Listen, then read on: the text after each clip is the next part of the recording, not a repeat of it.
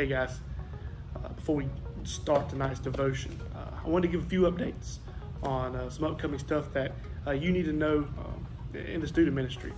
Um, I hope, hopefully, you've seen by now uh, Pastor Evans' video about um, some of the changes that's happening. And right now, the plan is to uh, tentatively start Sunday school back on June the 7th. Now, like I said, that's the plan. Things could change between now and then. Uh, but that's the plan. So hopefully we can meet back up here on Sunday school for Sunday school um, June the 7th, that Sunday morning. Um, now, Wednesday nights, um, we're still going to be patient um, before we start back Wednesday nights because if uh, with social distancing, it's going to be tough for all us to maybe meet together at the same time on Wednesday night. So we're going to try to be wise and, and we will slowly uh, integrate and start back on Wednesday nights at some point, uh, hopefully during the summer. Uh, but don't worry, uh, some events are coming where we will be able to get together and hang out and have a good time um, sometime in the summer. So be looking for that. Um, second thing is this uh, May 24th, uh, we'll be having our, our drive in uh, movie night. Um, it'll be that Sunday night.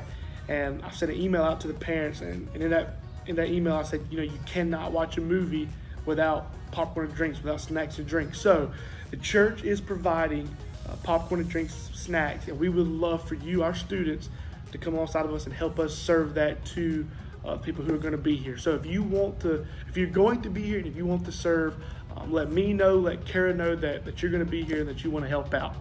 Now, lastly, is the big one is Wired. Um, I know that Wired is a is a big deal. It's always um, a great thing we always do every summer. Now, I do not have a final answer of what Wired is going to look like. Um, again, I, I, emailed parents and, and gave a, a, a, list of what of some options that could happen. Well, since then, I, I have some more info. Um, it's looking like it's going to be the same dates, um, starting on uh, June 21st, that that that Sunday, um, be that that week till Friday. And so, what it's looking like, it'll be a hundred bucks a person, and it's either going to be uh, just nightly worship services at the Civic Center or nightly worship services at the uh, fairgrounds.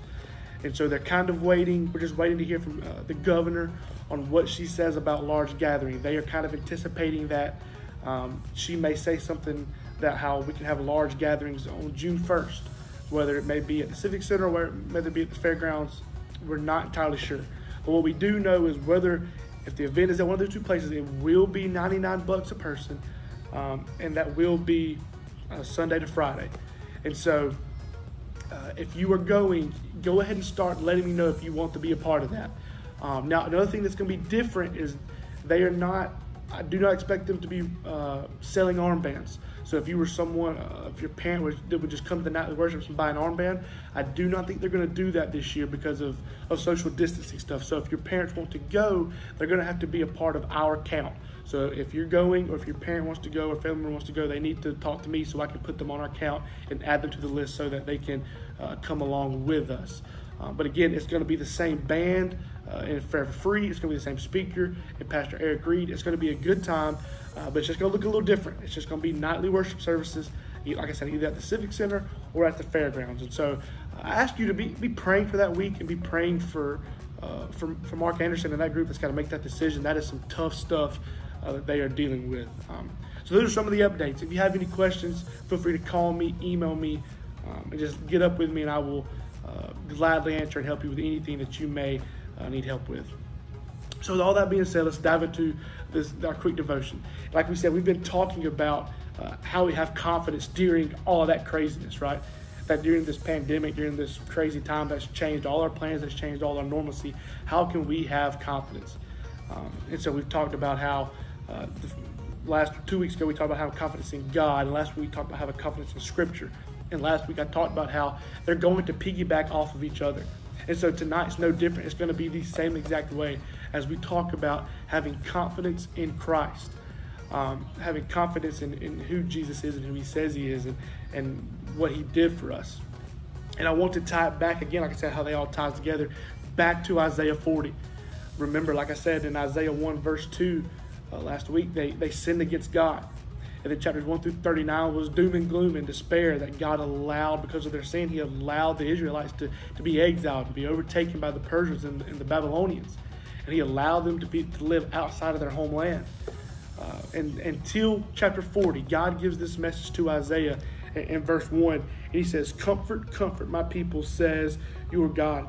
And in verses 3 through 5, we see that God promises them that he promises them a way back to their homeland. And so how do we have how can we look at that and say we have confidence in Jesus? Now, I want to say this is that we know that and we've studied this before that that when Jesus came to the earth, Jesus he left heaven, he came down to the to the form of a baby. And when he came to live among us, he was 100% man, but he was also 100% God. That Jesus uh, is God. John John 1 tells us that that in the beginning was the word and the word was with God and the word was God. Well, that word means Jesus. We see that Jesus is God. And so Jesus as a man came and dwelt among us and lived this uh, an example of a life that we should absolutely follow, but yet like I say every week, he lived a life that we couldn't live, a perfect holy life, so that he could die a death that we deserve, so that we, he would pay the, the price for our sin. And so ultimately, if we see that, if we have confidence in, in God and how He was God of the Old Testament to the Israelites and how He was vast and strong, like He did in Isaiah 40, and when Jesus came to be God, Jesus ultimately did the same thing that, I, that God did, that God we see in Isaiah 40. If you think about it, in, in chapter 1, he says, Comfort, comfort my people, says your God. We see Jesus, God sent Jesus to, to, to comfort us as sinners. We were just like the Israelites in Isaiah uh, 1 verse 2. We had rebelled, we had sinned against God, and we were exiled from Him.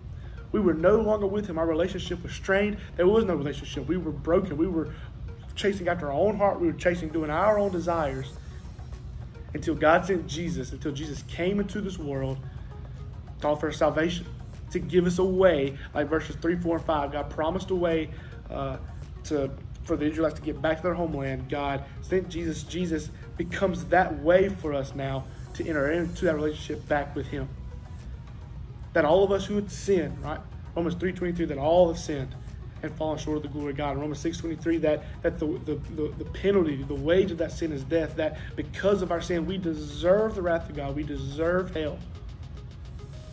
But one of the most beautiful and encouraging verses of all Scripture, Romans 5.8, that God demonstrated his love for us, that while we were still sinners, Christ died for us.